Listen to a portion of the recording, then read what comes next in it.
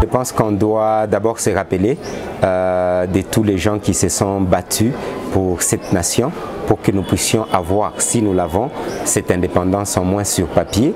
Et là, on peut citer déjà Lumumba, qui a fait un grand travail avec tous ses compagnons.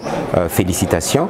On n'oubliera pas quand même Kassavubu, qui était le premier déjà à essayer de réclamer cette indépendance malgré tout ce qui s'est passé. Mais je vais un peu plus loin. On doit remercier tous les héros qui ont préparé, parce qu'il faut noter que déjà euh, Kimpa Vita vers les années euh, 1600, 69, 68, réclamait déjà un peu l'indépendance et elle a été brûlée. On passera par Simon Kimbangu qui est un grand héros euh, de la République démocratique du Congo. Donc on peut parler aussi de héros, n'est-ce pas, euh, d'il n'y a pas longtemps des Kouloula euh, euh, et des militaires qui sont morts euh, pour cette république. Et nous avons maintenant des héros vivants qu'on remercie. Beaucoup de jeunes, non je ne citerai pas des noms pour ne pas frustrer certains, il y a des héros vivants dans des mouvements citoyens, dans des partis politiques, dans des églises qui militent effectivement pour que la République puisse vraiment avoir l'indépendance que nous méritons. Donc ça c'est le premier grand point qu'on devait noter. 61 ans après, est-ce qu'on peut dire qu'il y a des avancées sur le plan politique Je ne sais pas trop, je pense plutôt qu'il n'y a pas assez d'avancées, à mon humble avis, tout simplement parce que Lumumba est mort avec tous les vaillants, mais on sent que si on doit mesurer cela en termes de taux de liberté, en termes de taux d'indépendance, les taux d'indépendance en République démocratique du Congo et en Afrique est trop bas. Je suppose que jusqu'à preuve du contraire, nous ne nous dirigeons pas, par exemple, politiquement à plus de 80 à 90%. C'est-à-dire, je suppose que ce sont les... Je ne suppose pas. Je pense et je suis convaincu que ce sont les ambassades et euh, les néocolonialismes qui dirigent encore politiquement euh, la République démocratique du Congo. Économiquement, euh, notre économie reste très trop extravertie, presque toutes les entreprises multinationales appartiennent aux étrangers et vous savez tout ce qui se passe. L'économie la balance commerciale, c'est pratiquement déficitaire dans le sens où nous importons presque tout. Certes, nous exportons du brut dans l'essence des minéraux, mais c'est pour que eux puissent en faire euh, des produits pour encore nous revendre. Dans notre économie est totalement extravertie. Et la culture même africaine et congolaise, nous la sentons extravertie. Nous dépendons un peu trop de la culture des Européens, des Américains et on ne valorise pas assez notre culture. Donc avec ces éléments, et on peut continuer à citer, je pense que Lumumba s'est battu et tout le monde qui s'est battu, mais les combats semblent avoir s'être effrité un peu. Donc ça s'est un peu et c'est bloqué par rapport à la mauvaise structure politique que nous avons et à la classe politique, le système politique qui est extraverti et qui dépend de ses autorités morales et du néocolonialisme. Donc je peux le déclarer la main au cœur que je ne pense pas que sur le plan de fait nous soyons assez indépendants. Nous sommes encore malheureusement très dépendants. Vous venez de le dire, nous sommes encore dépendants. Faut dire que depuis le départ des Occidentaux en RDC, la RDC euh, traverse un épisode noir, surtout sur le plan sécuritaire. Qu'est-ce qu'il faut et qu'est-ce qui ne marche pas dans ce pays? Ben, c'est clair, nous, nous traversons une période noire, mais il y a des gens qui sont contents. Pourquoi? Parce que tout simplement, avec cette période noire et sombre d'insécurité, ils arrivent à avoir les coltans à moins cher. Ils arrivent à avoir les diamants à moins cher. Ils arrivent à avoir un peu cette gâchette de l'Afrique qui ne décolle pas on n'appuie pas.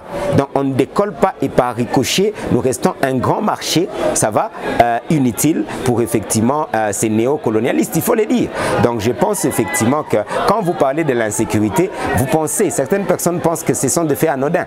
Non, on utilise des pantins, on utilise certains enfants perdus un peu congolais, certes, mais le vrai cause, ce ne sont pas des Congolais. C'est tout un système, une structure politique où c'est une décision plus ou moins, comme ça avait été déclaré euh, par certains pendant juste après l'indépendance. Ils avaient dit après l'indépendance sera égal à avant l'indépendance. Et ils y ont travaillé. Ils ont travaillé pour faire en sorte que nous puissions rester. Sur le plan sécuritaire, dépendants. Aujourd'hui, nous comptons sur la MONISCO, ça fait plus de 20 ans que la MONISCO est en République démocratique du Congo. Donc la MONISCO, c'est un peu une preuve suffisante que nous ne sommes pas indépendants sur le plan sécuritaire. Parce que notre sécurité, il nous faut euh, ce qu'on appelle Nations Unies, ça va, pour essayer de nous aider et contrôler presque toute la machine sécuritaire. C'est eux qui nous transportent avec les hélicoptères, c'est eux qui donnent parfois les carburants aux militaires. Donc au fond, il n'y a pas d'indépendance sur le plan de notre armée.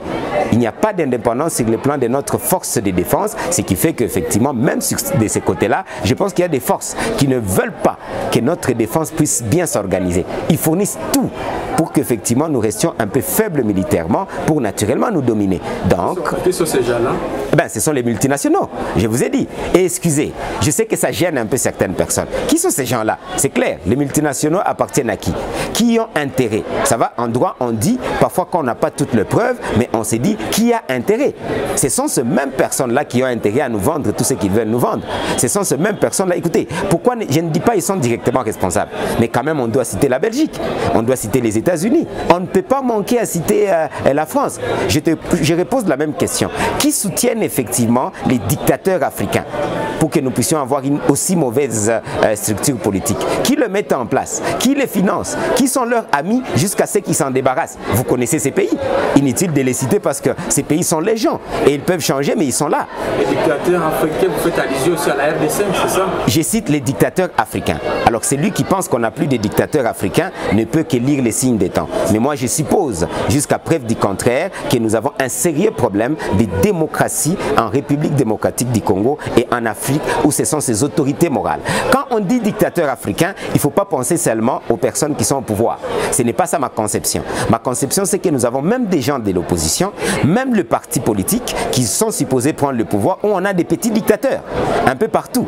Vous me suivez? C'est pas seulement les gens qui, qui, ont le pouvoir, même les gens qui se préparent à avoir le pouvoir, on a tout un tas de dictateurs qui s'appellent autorité morale, qui s'appellent patriarche, qui s'appellent tout le mot que vous voulez, mais c'est eux qui dirigent leur parti politique avec des mains de fer et des partis politiques ne sont pas démocratiques et même des partis politiques parfois qui sont au pouvoir. Donc vous me comprenez que la dictature est structurée.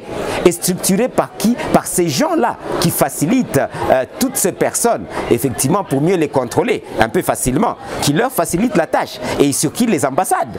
Vous le voyez, vous ne le voyez pas. Moi, je le vois matin, midi, soir. Le pouvoir vient des ambassades.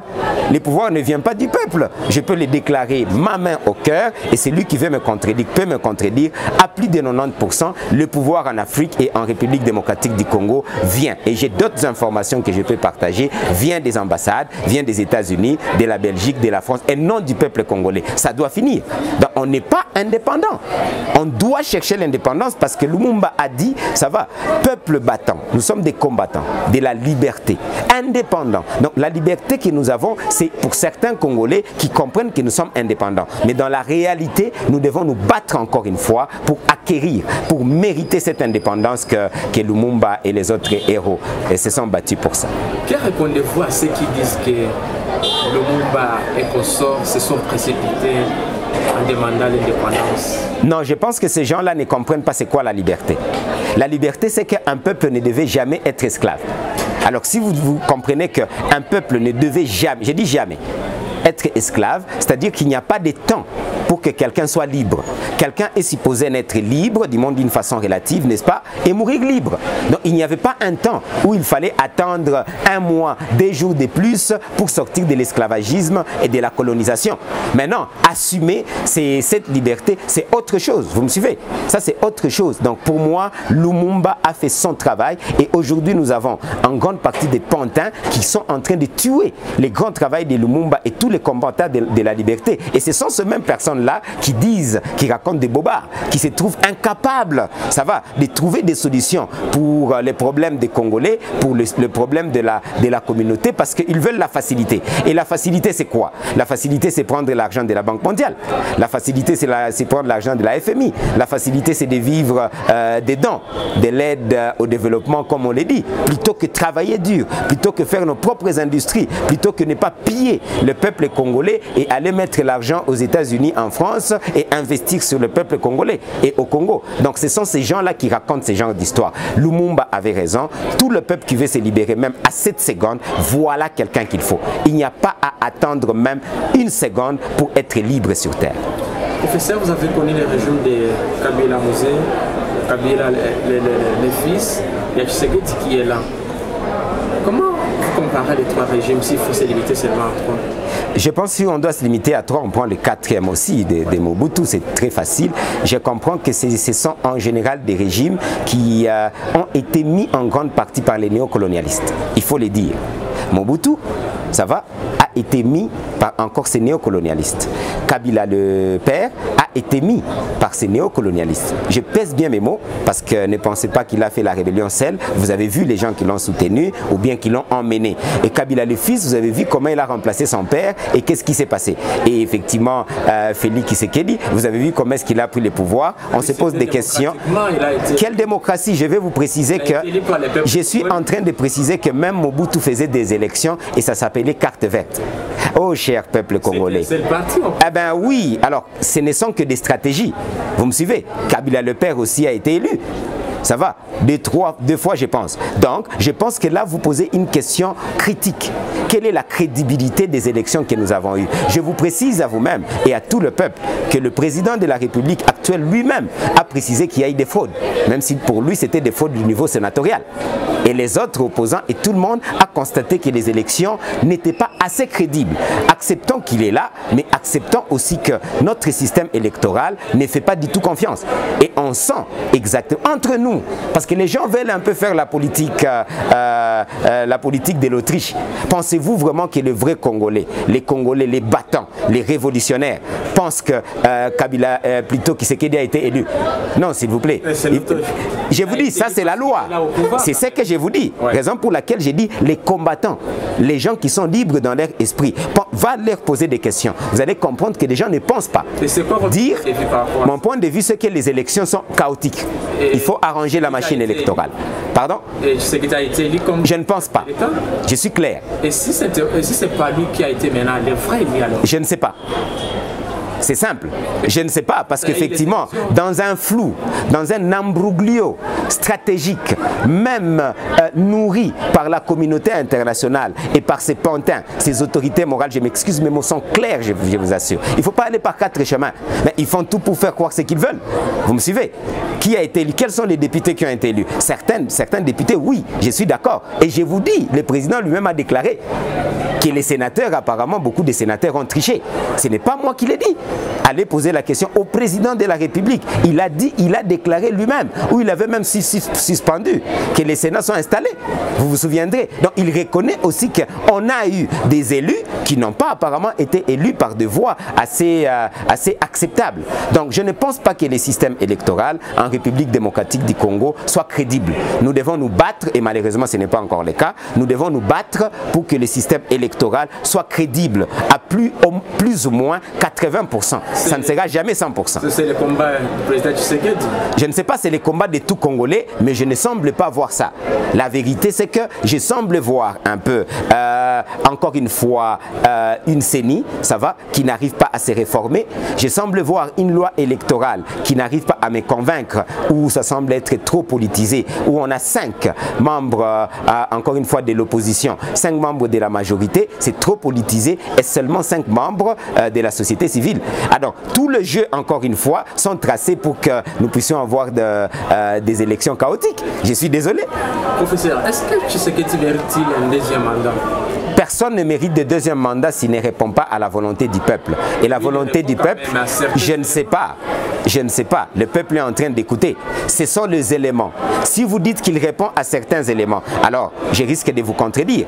Tout simplement parce que lui-même a dit il a passé deux ans, n'est-ce pas Et il n'a pas fait grand-chose. C'est pas moi. Il était bloqué. Donc, bloqué par qui? Vous êtes le chef de l'État, vous avez l'impérium. Alors vous, si vous faites sans témoin, ça n'engage que vous. Mais lui-même a dit qu'il a échoué pendant deux ans. Ce n'est pas moi. Je suis désolé. Que soient les bonnes ou mauvaises raisons, moi, en tant que peuple et en tant qu'analyste, je vois les résultats ne soyez pas sentimental. Le président vous dit qu'il a échoué pendant des ans. Je ne connais pas la raison, il a cité sa raison, mais il a échoué. Vous voulez dire qu'il a réussi? Je suis désolé, mon frère. Donc le peuple comprend que le président a dit qu'il a échoué pendant des ans et qu'il va fournir des efforts pour réussir. Est-ce qu'il a déjà réussi? On a l'état des sièges, mais nous connaissons encore les résultats. Nous souhaitons que ça réussisse. Vous savez quoi? Je suis parmi les gens qui devaient applaudir les bonnes actions. Et il n'y a pas de problème. Il y a quelque chose qui marche, le peuple se sent à l'aise, le peuple mange à, sa satiété, le peuple arrive à avoir la sécurité. On ne doit qu'applaudir. Donc il ne faut pas juste dire oui parce que les gens ont peur du président.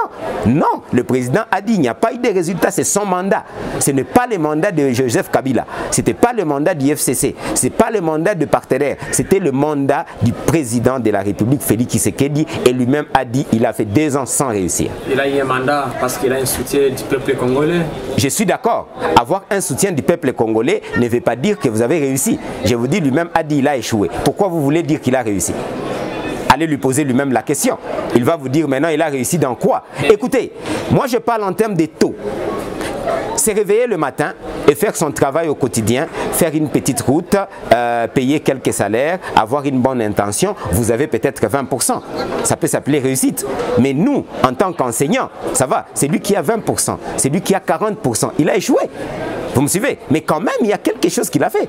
Donc ne pensez pas qu'on dit que le, président Félix Seked n'a rien fait. Il a fait quelque chose, mais moi, à mon humble avis, comme lui-même l'a si bien dit, le bilan est largement négatif. D'accord. Euh, professeur, nous tendons vers la fin de cet entretien. Nous restons jusqu'avec deux minutes. Oui. Revenons sur les sujets principaux par rapport à l'indépendance. À l'indépendance. Vous, en tant qu'un Congolais, un fils du Nord Kivu, vous connaissez ce que l'Est, le Nord qui vous traverse comme page noire, épisode noir. Qu'est-ce que vous pouvez recommander au chef de l'État ainsi qu'au peuple congolais? Je peux recommander au chef de l'État quelque chose que je pense qu'il ne risque pas de faire. Et s'il le faisait, je serais le premier à les saluer et même à me courber se permettre à ce que la structure politique de la République démocratique du Congo puisse changer. Permettre, changer, c'est-à-dire que, que le pouvoir puisse revenir au peuple et que ça soit exactement dans le fait le peuple d'abord. Pas un budget où nous avons effectivement la consommation à plus de 1000%, 200-300% euh, exécuté euh, à la présidence et par des institutions et le peuple congolais n'a rien. Donc il a une chance de démontrer qu'il veut le peuple d'abord et qu'il veut qu'on puisse s'en sortir et des bonnes élections qu'on pourra avoir. Voilà ce que je peux demander au chef de l'État. Pensez-vous vraiment qu'il puisse être capable de le faire? Eh bien, les tout est ainsi. Je peux souhaiter qu'il puisse le faire et les Congolais, nous devions l'applaudir. S'il ne le fait pas, eh bien, je pense qu'il devait même démissionner avant même de demander des deuxièmes mandats. Mais malheureusement, on a des hommes politiques parfois qui ne comprennent pas qu'on ne va pas au pouvoir parce que juste on doit rester au pouvoir. Non, le pouvoir c'est pour exécuter un plan des sociétés. Un plan des sociétés qui a des actions à mener. Alors si vous n'arrivez pas à le faire, démissionnez. Donc je pense que c'est ça mon rôle. Le peuple congolais, prenons-nous en charge, on ne devait pas compter sur les individus. Président soit-elle, soit-il. Euh, merci professeur, nous arrivons à la fin de cet entretien. Je sais qu'on aura euh, chaque fois les interviews avec vous. C'est déjà une occasion. Merci pour la disponibilité pour l'entretien exclusif. C'est moi qui vous remercie.